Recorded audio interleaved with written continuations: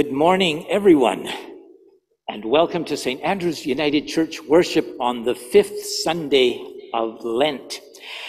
And when I say everyone, I mean everyone who is here in the sanctuary, as well as everyone who is out there on Zoom. And I just realized that the speakers on my cell phone behind me are on and I hope that it's not interfering with the sound that everyone is hearing on Zoom. Again, welcome to worship. I invite all of you to take a moment to think about who has gathered here this morning. Not only those of us in the sanctuary, but also all of those who are in their homes or wherever they have their computers or telephones it is good to be together here this morning. I'm going to invite Shannon to begin with the land acknowledgements from Canmore.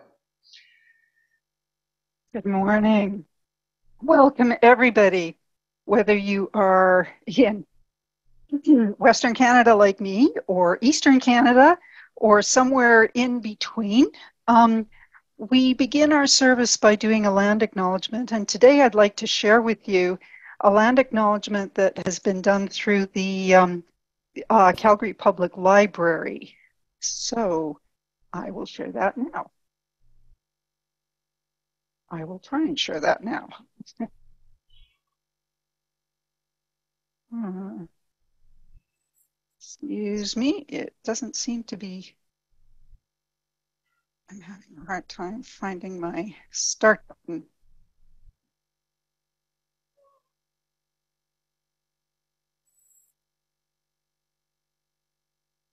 I apologize for this technical challenge here. There we go. Hi, my name is Henry Drew, and I am a staff here at the Calgary Public Library. I work at Central, and I've been asked to do a little video to help educate people on land acknowledgements. So as you can see, my little friend here, Charlie, Charlie was asking about land acknowledgements, so I thought this would be a great way to show Charlie the land acknowledgement, but also to show our friends and to talk about why a land acknowledgement is important. So I am from Treaty 8, I am Woodland Cree. Uh, my reserve is Driftpile First Nations, and I am a visitor here in Treaty 7. So, one of the reasons why land acknowledgements are so important is because it, in a way, we are giving back a sense of identity by honoring the original caretakers of the land that you're in. So, I challenge everybody who is not from Calgary to find out where they're from and who are the original caretakers of that land. So, here in Calgary, Treaty 7 Blackfoot Confederacy. This is Blackfoot ter- territory, so we acknowledge um, our Blackfoot friends. So I'll go through it once and then I'll do it for you. So it's kind of, so we start with our seven fingers because we are in Treaty 7. So today we acknowledge our Treaty 7 friends. So this is sign language for friends. Where the Blackfoot meets at Elbows Bend. Soon came the Tsuut'ina from the Beaver clan and that's the beaver's tail for people that are wondering what that means. And then the Iskia and nakoda in the mountain lands. Last but not least, so we do the infinity sign because that is the symbol on the Métis flag. Uh, last but not least, Métis people from Region 3. Together, we're all treaty people here in Calgary. So see how fun that was and interactive? So we're gonna do it again. This time, I'm not gonna pause. I'll go through it right from beginning to end. And I hope that you guys are practicing with me and you could always replay it and do it again. So when you come to story time at the library, you'll be able to do it. Okay, so let's get started. Today we acknowledge our Treaty 7 friends, where the Blackfoot meets at Elbows Bend. Soon came the Tsuut'ina from the Beaver Clan and the Iskia Nakoda in the mountain lands. Last but not least, Métis people from Region 3. Together, we're all treaty people here in Calgary. I hope Charlie liked that. Thanks.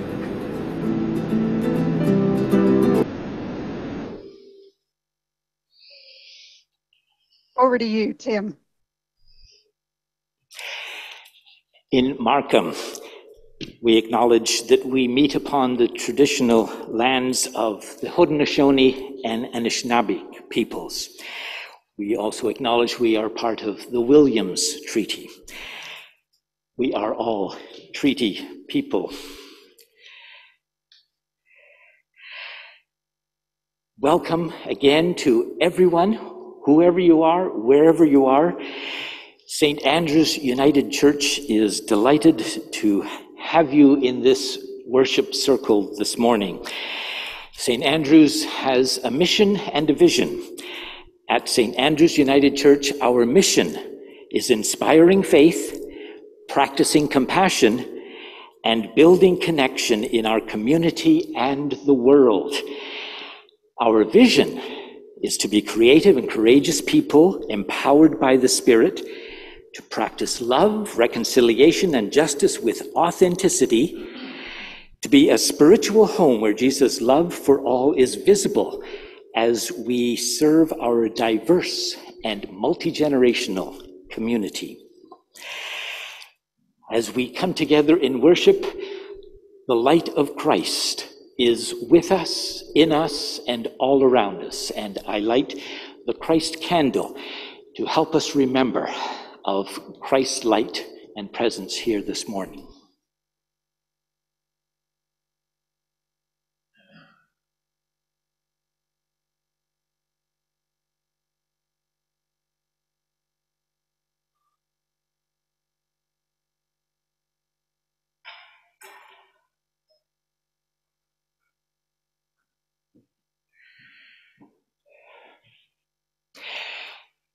And I would like to draw your attention to all of the announcements that are printed in the order of service that was sent out to you. It be at the end of last week or in your hands in the printed version here this morning. I just want to start off with highlighting a couple of announcements. This is the fifth Sunday of Lent, which means that next Sunday is Palm Sunday. You might wonder why I've got palms on the communion table a whole week early. Well, we will, Shannon and I will come to that oh, during the time with the children or the time for all ages uh, soon in the service. The other announcement is about next Sunday, the beginning of Holy Week. Everyone's welcome for Palm Sunday here and at home. On Thursday, Maundy, Thursday, we will gather for worship on Zoom only. Same on Good Friday, Thursday at 7 p.m., Good Friday at 10 a.m. on Zoom only. And then, of course, in only two weeks' time, I would love to welcome everyone here and on Zoom for our Easter services. And Michelle has an announcement for us. If we could spotlight Michelle. Thank you. Uh, I'm going. Uh, if you noticed in the announcements this week, um, we're looking for volunteers, and I'd like to begin by saying a special thank you to Gunter, uh, who has been our faithful lawn care specialist so many years. Up our front lawn. Um, actually, one of the highlights of Main Street. Everyone uh, knows it's the greenest space on Main Street, Markham, and uh, Gunter's been taking very good care of it. He is now hanging up his blades. So we are looking for volunteers from the community um, to help us keep that front lawn neat and beautiful. Um, if you are interested or know a young person who might be interested, please contact the office. Um, we'd like to explore volunteer opportunities before we turn in other directions. Thank you. And I just want to highlight uh, the other announcements that are in your order service today. Uh, reminder about the pothole fundraiser and um, other volunteer and fellowship opportunities. I also do want to highlight uh, we're not having a lot of uptake on the uh, welcomes and um, theological banquet survey. it well, the surveys work when people do them. So if you have not yet done Uh, particularly, we're looking at the Theological Banquet uh, survey. Uh, that would be very helpful to get an idea of the theological landscape of our congregation right now. I'm going to invite the um, folks on Zoom and those in the sanctuary to take a look around. Uh, those on Zoom can scroll through the uh, tiles uh, wherever those might show up on your screen. And I invite you to pass the peace of Christ, uh, both on Zoom and in the sanctuary. It's so lovely to see those of you in the sanctuary. Peace of Christ be with you all.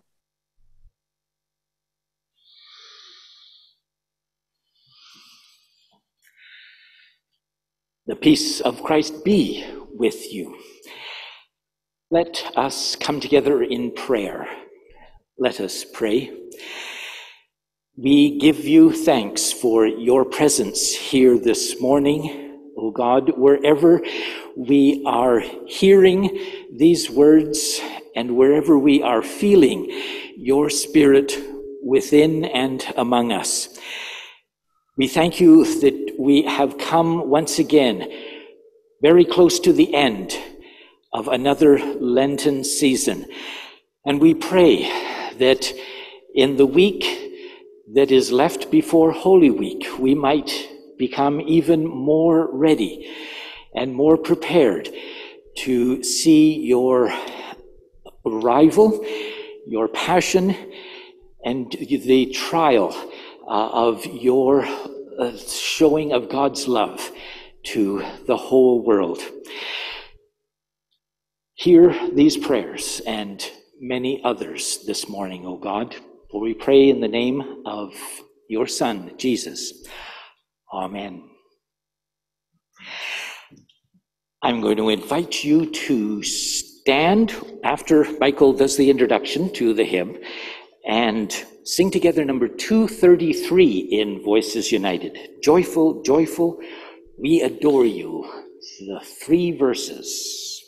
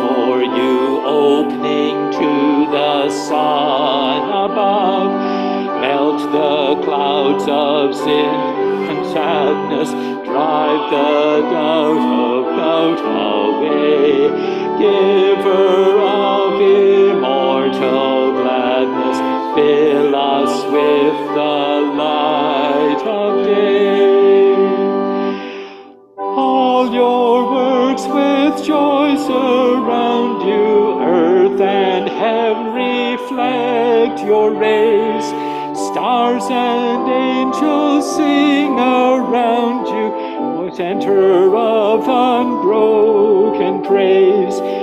Field and forest, hill and mountain, flowery meadow, flashing sea, canting bird and flowing fountain, sound their praise eternal.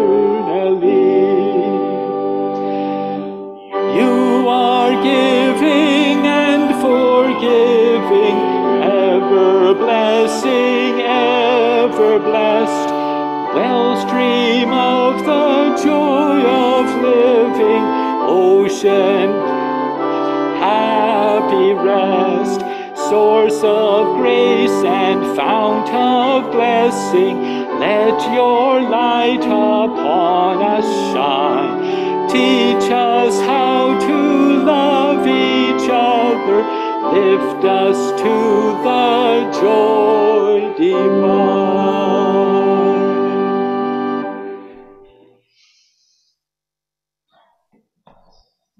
Friends, let us join together in a spirit of confession. Let us pray. O God, you lavish the universe with life, poured out from the bounty of your blessedness. You share the aroma of your holiness with all creatures, great and small. We confess, O God, that while you lavish us with unconditional love, we have not always shared that with others.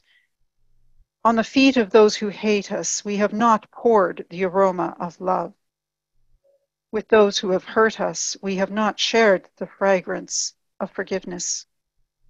On those who war with us, we have not spread the perfume of peace. On those who are harsh with us, we have not lavished enough of the scent of gentleness. On those who misunderstand us, we have not offered the bouquet of patience. On those who love us, we have not modeled the gentle humility of Christ in us.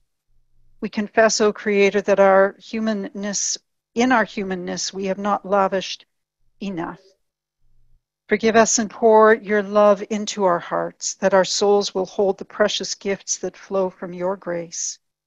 Transform the debris of our sin into the sweet smell of holiness, that we may bless others with the aroma of love. In a moment of silence, we bring before the Divine One our personal prayers of confession and our realizations of how we have contributed to corporate sin where people have suffered.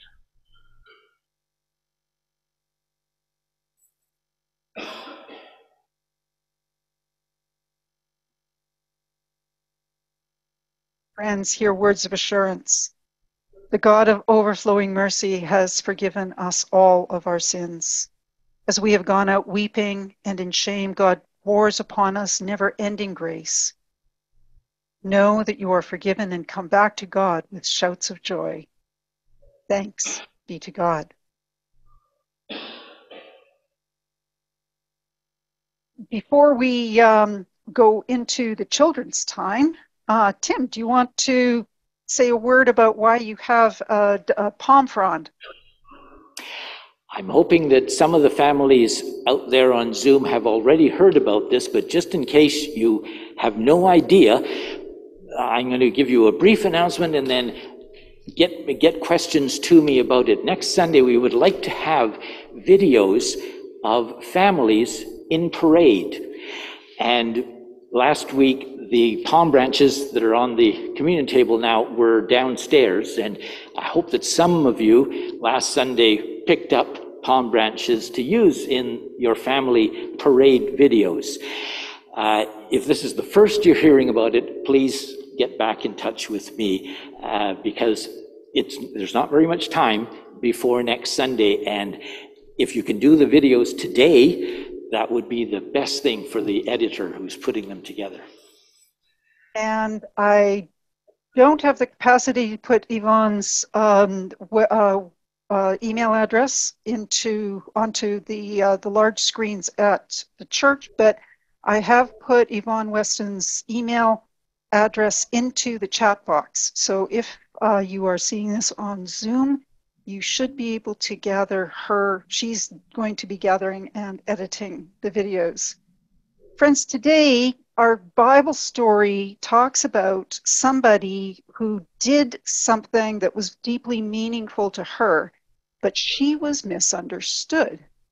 I would like to share a story about someone else who did something that was deeply meaningful to her, and she was misunderstood as well. So, this story is, uh, I've taken it right from CBC Kids News. This girl ignited a new awareness and pride for ribbon skirts. And this happened back, this story broke back in January, uh, early January 2021. And so, ribbon skirts are traditional for many Indigenous nations. A 10 year old girl started a social movement after a school assistant at her school in Kamsack, Saskatchewan, criticized her ribbon skirt. Isabella Kulak is a member of Cote First Nation and proudly wore her ribbon skirt to school for Formal Day in December. It's black with lots of white flowers and a blue and green and black ribbon on it, Isabella told CBC News. I like that my Auntie Sarah made it for me, and it fits me really well. What is a ribbon skirt? The ribbon skirt is a traditional piece of clothing across many Indigenous nations. It represents strength for Indigenous, indigenous women, and ribbon skirts and the work that goes into making them are considered sacred. Indigenous men wear their own versions as ribbon shirts. When Isabella arrived at school, however, an educational assistant told her that her outfit was mismatched and she suggested that Isabella wear something similar to a store bought dress another classmate was wearing. Well, Isabella felt really badly. Isabella's family could see that she was upset and posted about what happened on Facebook. And there was an outpouring of support as others shared photos and videos of themselves in their own ribbon skirts or shirts and what you're seeing is uh, a number of staff people from Standing Buffalo School um, uh, on the Standing Buffalo First Nation Reserve north of Fort Qu'Appelle, Saskatchewan. When Isabella returned to school after the holidays, an entire community showed up with her. Chiefs from different First Nations in the surrounding area joined her, while a drum group performed. Many people arrived wearing ribbon skirts and shirts to share their pride with Isabella. It made Isabella happy to see her cousins, her kokums, that's the Saulteaux word for grandmother, and friends come to support her. While she may not have been pre- prepared for the amount of attention that she's receiving, it has been empowering for her. She realizes that she has a powerful voice even though she doesn't feel so big and mighty, her father, Chris Kulak, told CBC News. So there's a story of someone who did something that was important. She was misunderstood, but then a whole community came around her to um, offer a learning moment for that school and for other places. Let's sing together uh, two verses from a hymn that we learned back in October. Come touch our hearts. It's in More Voices number 12, and we're singing verses 2 and 3.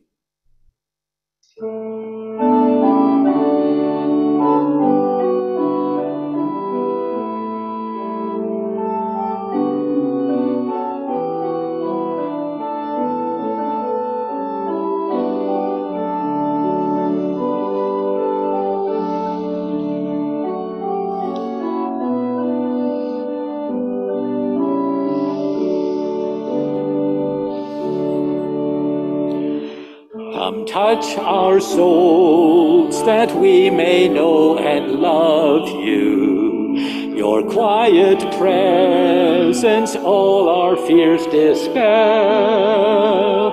Create a space for spirit to grow in us. Let life and beauty fill us. Come touch and bless our souls. Come touch our minds and teach us how to reason. Set free our thoughts to wonder and to dream. Help us to open doors of understanding to welcome truth and wisdom. Come touch and bless our minds.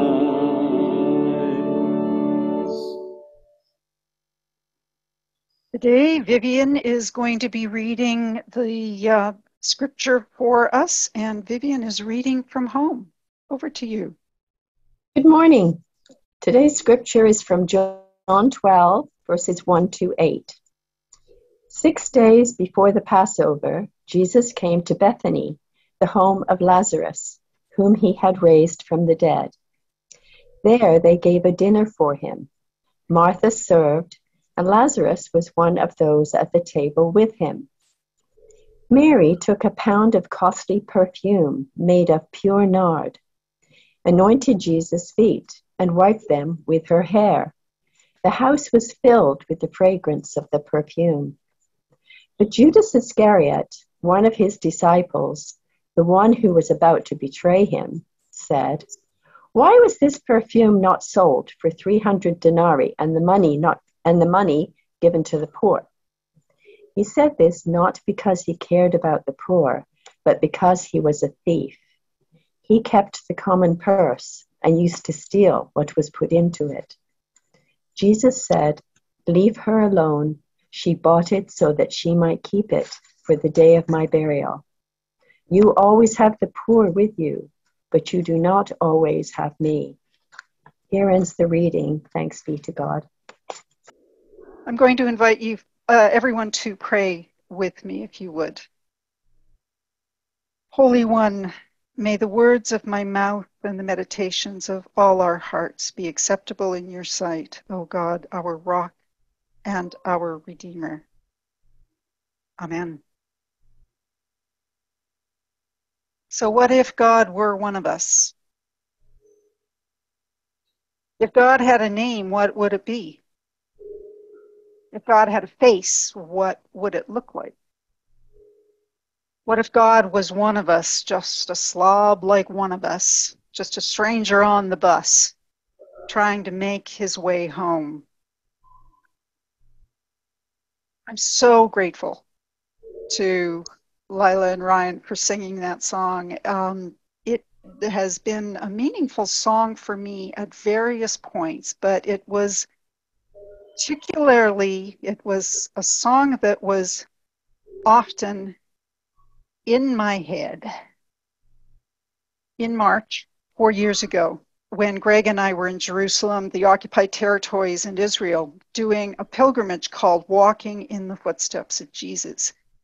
I often had a sense of dislocation and at the same ta- time a sense of profound location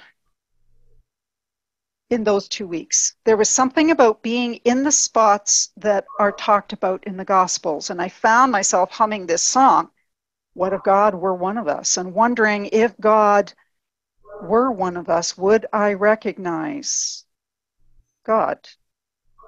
This is a photo of the ruins at Capernaum. Those were walls of houses. And this is an archaeological dig that has taken us to first century. So Jesus would have known those houses. Jesus would have known the people who lived in those houses. Jesus would have been in those houses. I do believe in the mystery of the incarnation. And in some that in some way powerful way God was embodied in Jesus and that God is embodied in each of us. And that Jesus was God filled in a way that was unique and that he helped those around him experience God's realm in a, in a brand new way, God's kingdom, God's community. At Capernaum, Jesus healed Peter's mother. On the shores of Lake Galilee at Capernaum, Jesus spoke to fishermen, and they left their lives behind in this town and they followed him. They recognized something in Jesus. Hmm. Those fisher folk were his inner circle, his disciples, and they experienced and glimpsed this something different, this realm of God. In Capernaum, I wondered if I would recognize, hmm, if I would have recognized Jesus. Would I have been one of the ones to catch a glimpse of God's kingdom community? Would I have wanted to follow Jesus? Now, surprisingly, that sense of location slash dislocation was even stronger in Jerusalem I think it was because there were places like this street outside of Richardson's Gate to the west of an intact wall from the vast temple that Herod built. The temple and this street were brand new in Jesus' day, just a couple of decades old. And this street is a first century street that has been excavated. Jesus and his disciples would have walked here on these stones that pave the street.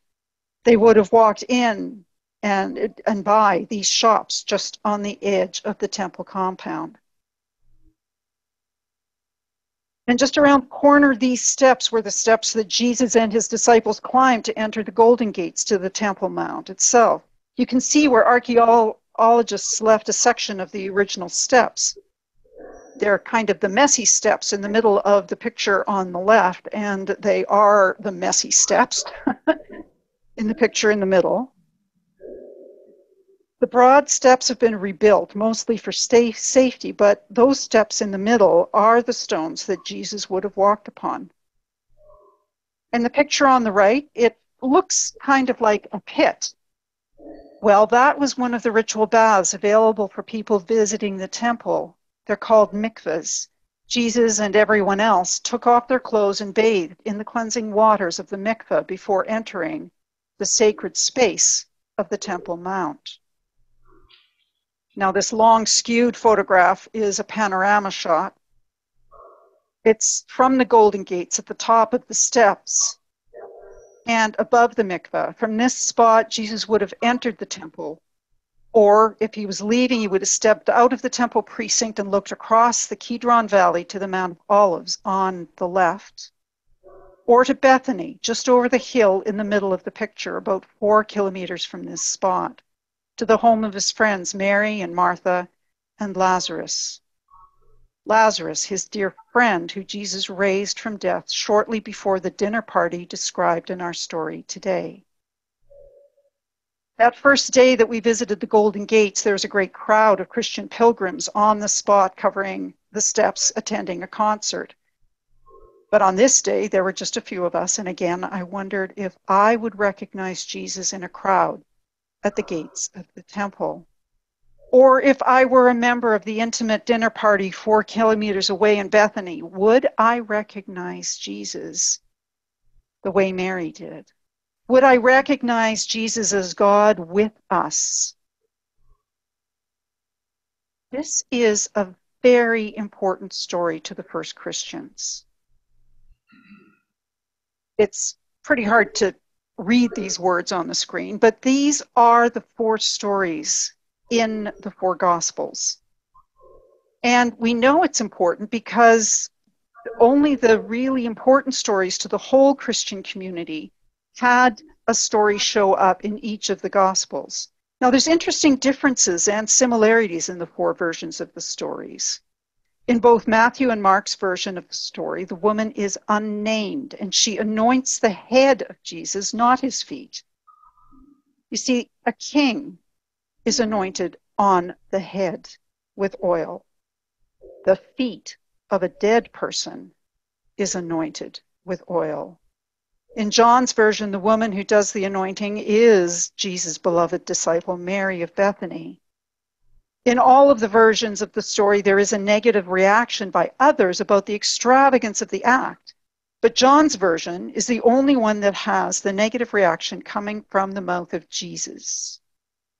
Uh, Judas, sorry. So the roles of Judas and Mary are set in contrast with one another. Now, the significance of the story is underlined in both Matthew and Mark with Jesus closing the scene by defending the actions of the unnamed woman, saying, She has done what she could. She has anointed my body beforehand for its burial. Truly, I tell you, wherever the good news is proclaimed in the whole world, what she has done will be told in remembrance of her. And in those two versions, the funny thing is, we don't actually know her name. Jesus ties together the act of anointing a king with the anointing for burial. And he announces that her action will be remembered with the same degree of honor as the actions of the Last Supper. This year, we hear the story from John's Gospel, and it comes in the very next chapter following that strange story I mentioned of Jesus raising Lazarus from death. Following that miracle, Jesus and his disciples attended dinner in his honor. And Mary, the sister who in an earlier story annoyed her sister Martha because she chose to sit and listen to Jesus rather than help Martha with the cooking and the cleaning. Well, Mary brings an extravagant amount of perfume and anoints the feet of Jesus with her hair. Her behavior is so strange. Barbara Brown Taylor explains the layer of layers of strangeness, saying, and I quote, Then, as everyone in the room watches her, she does four remarkable things in a row. First, she loosens her hair in a room full of men, which an honorable woman never does. Then she pours perfume on Jesus' feet, which is also not done. The head, maybe, people do that to kings, but not the feet. Then she touches him. A single wo- woman rubbing a single man's feet, also not done, not even among friends. Then she wipes the perfume off with her hair. Totally inexplicable. The bizarre end to an all round bizarre act. Death was in the air. Jesus had brought her brother back from the tomb, which resulted in furthering the plot to kill Jesus. She knew that the raising of her dead brother, who had been in his tomb four days, had resulted in the authorities calling for the arrest of Jesus.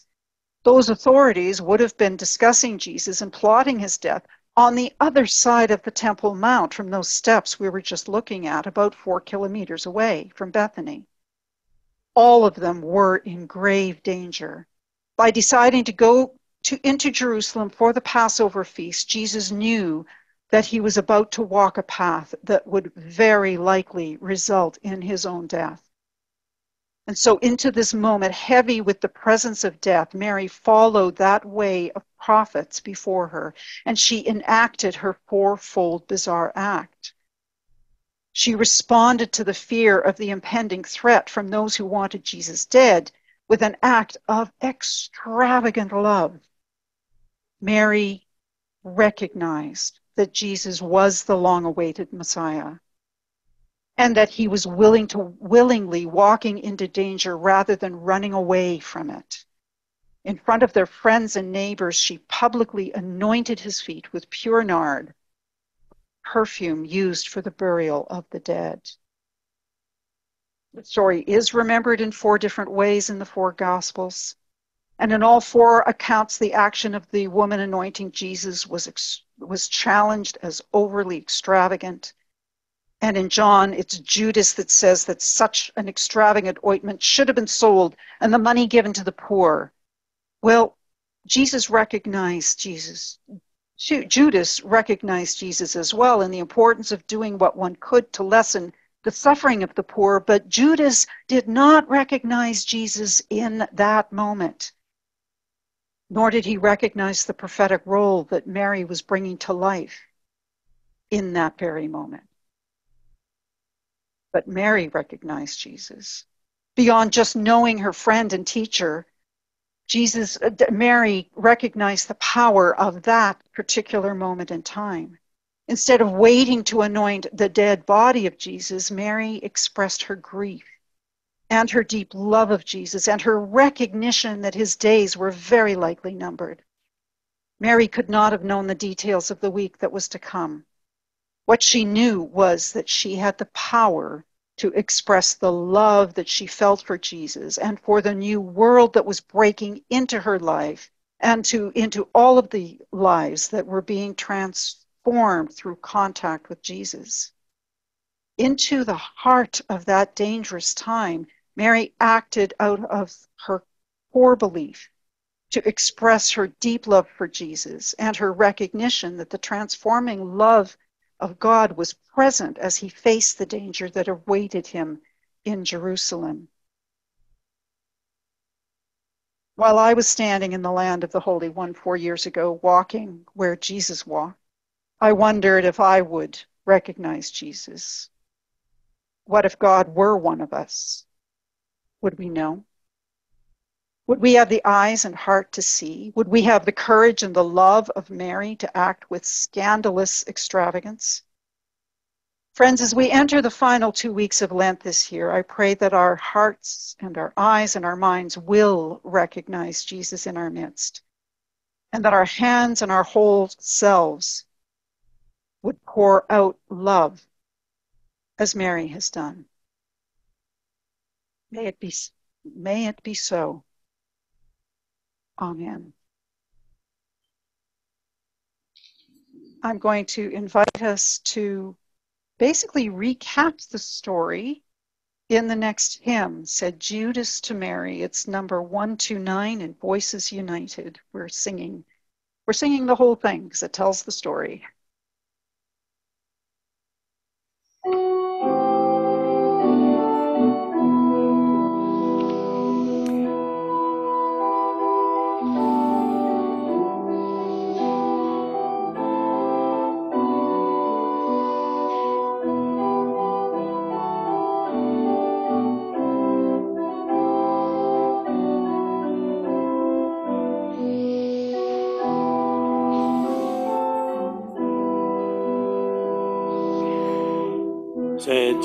To Mary, Now what would you do with your ointment so rich and so rare? I'll pour it all over the feet of the Lord.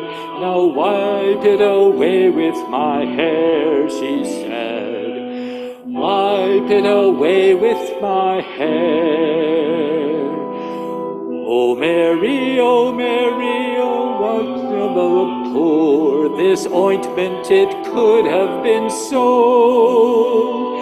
And think of the blankets and think of the bread you could buy with a silver and gold, he said. Buy with a silver and gold. Tomorrow, tomorrow, I'll think of the poor. Tomorrow, she said, not today. For dearer than all of the poor in the world is my love who is going away, she said. My love who is going away. Said Jesus to Mary, Your love is so deep. Today you may do as you will. Tomorrow you say, I am going away. But my body I leave with you still, he said. My body I leave with you still. The poor of the world are my body, he said. To the end of the world they shall be. The bread and the blankets you give to the poor, you'll know you have given to me, he said. You'll know you have given to me. My body will hang on the cross of the world. Tomorrow, he said, not today. And Martha and Mary will find me again and wash all my sorrow away, he said. Wash all my sorrow away.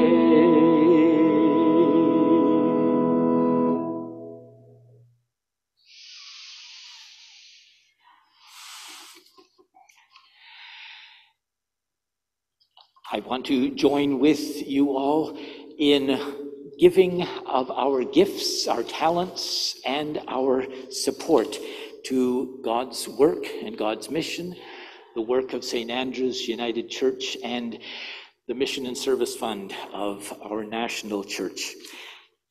We are grateful for this continuing support that you have been able to offer, even though we are not passing the plates on Sunday morning.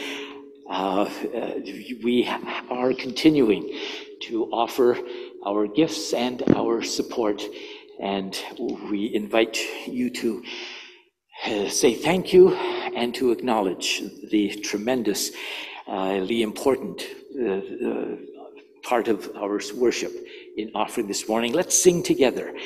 Please remain seated as we sing together. Grant us, God, the grace of giving.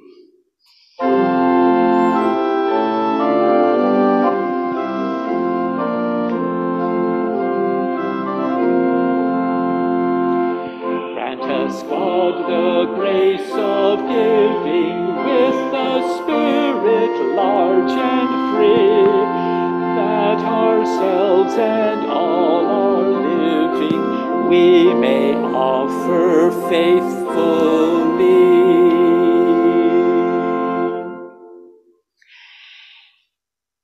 And as as I invite you to join your hearts and minds in the prayers of the people, we are going to move to that time of prayer also in music, in singing. The words are going to be on the screen in a moment. Open our hearts, open our minds, open our lives to you, O loving God. And that short verse is going to be sung before and at the end, before the Lord's Prayer is said together of the prayers of thanksgiving. Let us bring our hearts and minds and spirits together in music.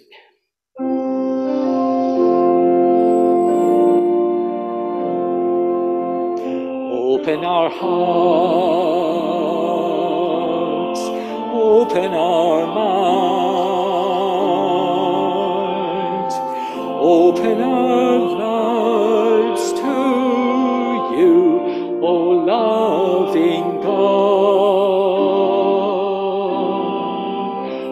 Open our hearts, open our minds, open our lives to you, O loving God. As we open our hearts to you, O God, we give thanks.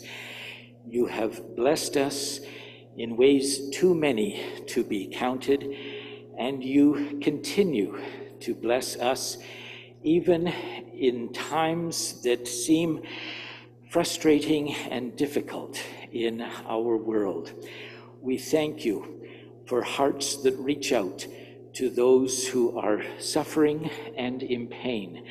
We thank you for the frustration that we feel when we wish to end violence and the loss of life in our world. We give you thanks that that frustration and anger sometimes leads to the action that makes a difference and calls forth peace even in difficulty. Lord, as we go into another new week, we hold with care the people of Ukraine, people who have shown their determination to live a life of community and caring in a way that was not expected. And we pray that those who sought to destroy that kind of community and determination may fail in their efforts. Lord, we pray this morning for those who have lost loved ones recently. We pray that they find in the midst of grief the way of your compassion and your passion that we uh, acknowledged in the coming Holy Week in our church community.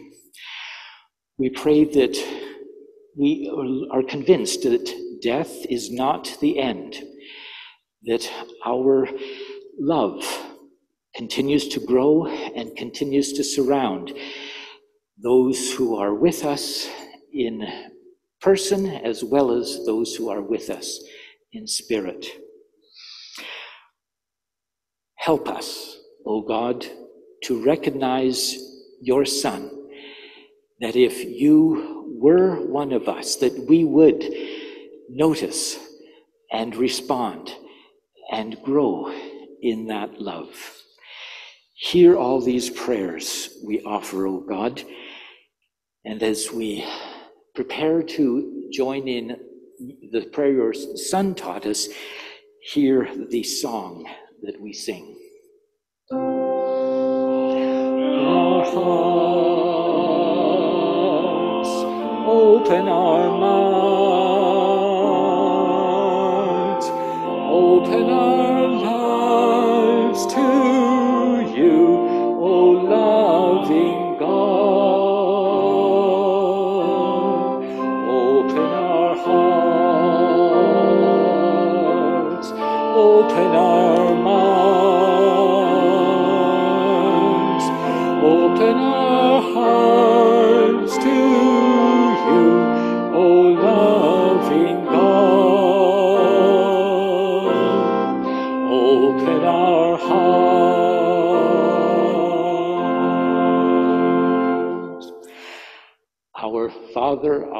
Mother, who art in heaven, hallowed be thy name. Thy kingdom come, thy will be done on earth as it is in heaven. Give us this day our daily bread, and forgive us our trespasses, as we forgive those who trespass against us. And lead us not into temptation, but deliver us from evil. For thine is the kingdom, the power, and the glory, forever and ever. Amen. The hymn is 642, Be Thou My Vision. And we're going to sing verses 1, 2, and 4. Let us join as Michael leads us.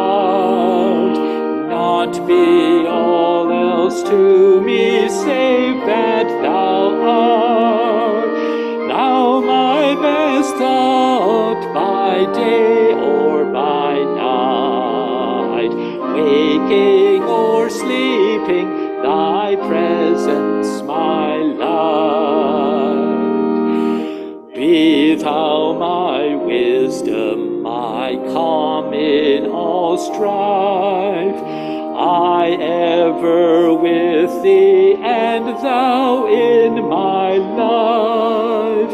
Thou loving parent, thy child may I be. Thou in me dwelling, and I one with thee. Riches I heed not, nor vain empty praise.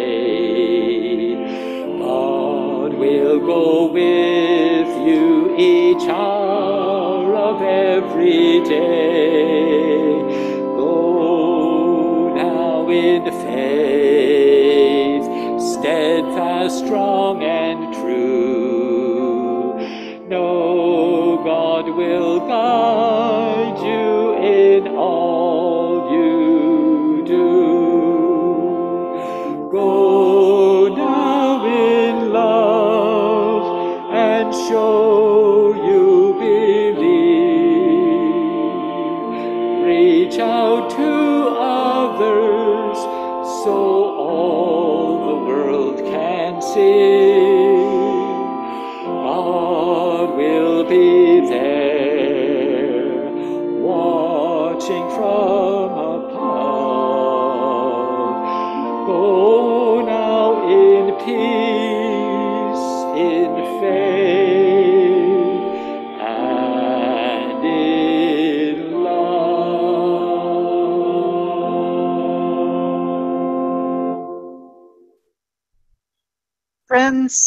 our mouths be filled with laughter and our hearts with shouts of joy.